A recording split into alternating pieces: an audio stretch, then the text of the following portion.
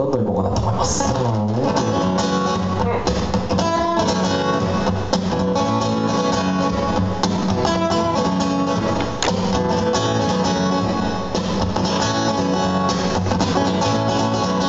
僕もできれば自然発生的なものを期待してる。ありがとう。どうもちょっとどうしても言いたいことがあってねあの今日オープニングやってくれた、えー、鈴木健太郎君拍手。